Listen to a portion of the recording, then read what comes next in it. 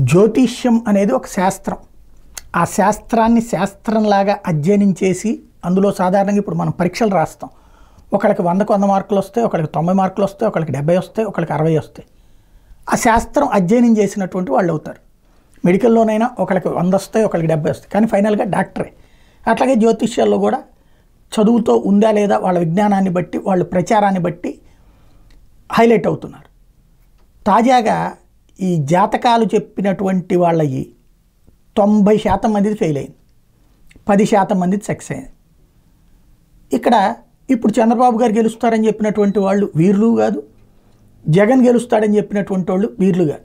వాస్తవంగా మన దగ్గరికి వచ్చిన వాళ్ళ జాతకం వాళ్ళ జాతక చక్రం అదంతా ఇస్తారు. గ స్థితులు అంతఃస్థితులు ఇవన్నీ లెక్కగట్టి చెప్తే బాగుంటుంది.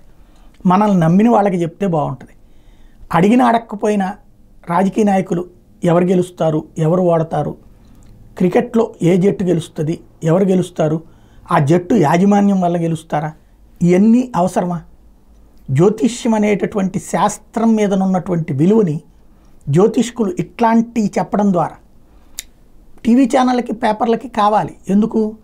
వాళ్ళకి కాస్త టైం ఫిల్లింగ్ ఉండాలి. ప్లస్ తాము ఎవరిని నెత్తిన పెట్టుకుంటారో ఏ నాయకుడిని నెత్తిన పెట్టుకుంటారో వాళ్ళకి పాజిటివ్గా వస్తుంటే హైలైట్ చేస్తుంటారు.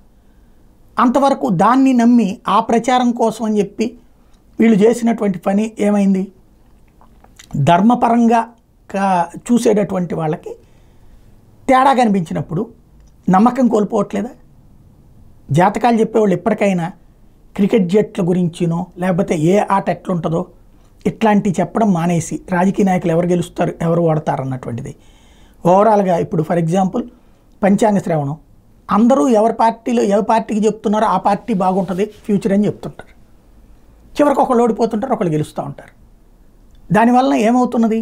దాని మీద ఉన్న నమ్మకం కోల్పోతున్నారు. సరైనటువంటి ఏ గ్రహస్థితులు ఇట్లాంటివి దేశానికి ఎలాంటిది ఉంటుంది? వరదలు వస్తాయి వానలు వస్తాయి ఇట్లాంటి వాటితో లేకపోతే కనుక మనల్ని కలిసిన వ్యక్తుల వరకు జాతకాలు చెప్తే బాగుంటుందేమో ఆలోచించుకుంటే బెటర్.